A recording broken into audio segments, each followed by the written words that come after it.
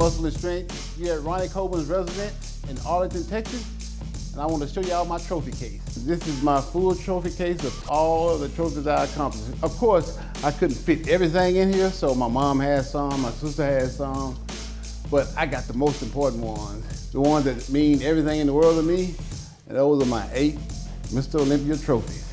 So we start out with 1998, 1999, 2000, yeah, all the way down to 2005.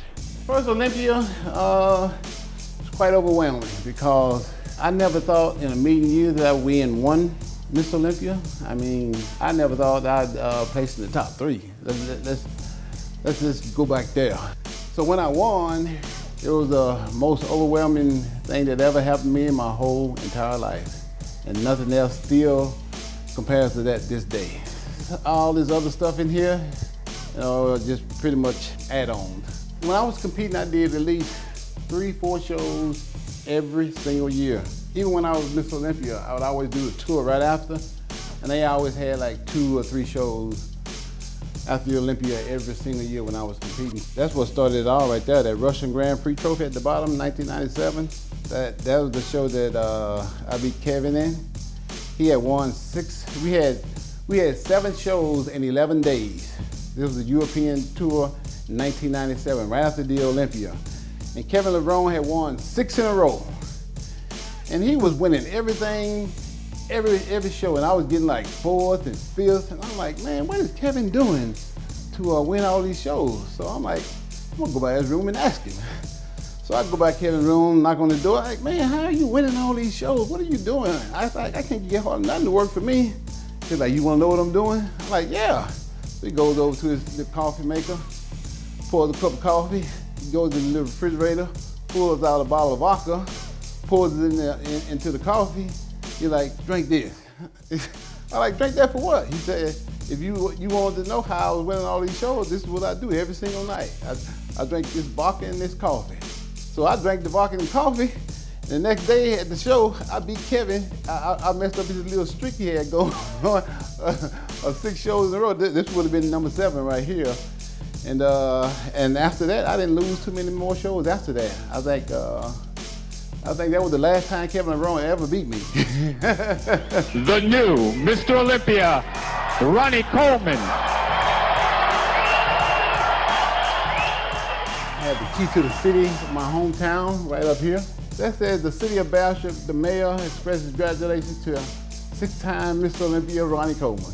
I have one Arnold Classic title. I did the Arnold Classic twice in my career. I did it in 97 and I placed fourth, and I did it in 2001 where I won that year uh, the Arnold Classic, and I almost died at the Mr. Olympia trying to do two shows in one year. I literally passed out in my room right before the night of the show.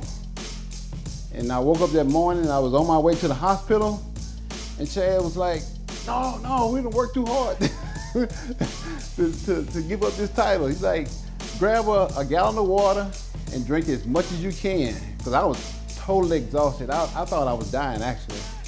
And I drank a gallon of water before I went on stage at the 2001 Olympia.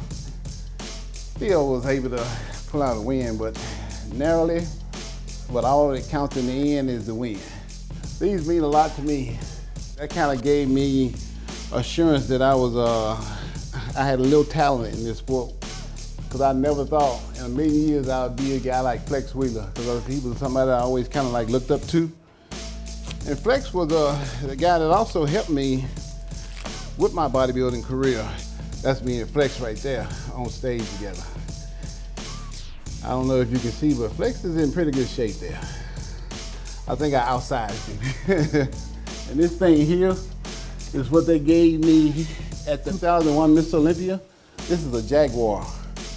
And when they announced that on stage, I actually thought that I had won a Jaguar car. And they give me this thing.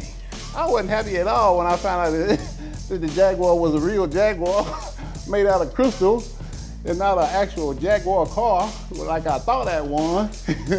all right, here are all the trophies from my like 20 year career as a bodybuilder. They're all in this trophy case right here. And this is what I'm most proud of in my whole entire life. Yeah, buddy.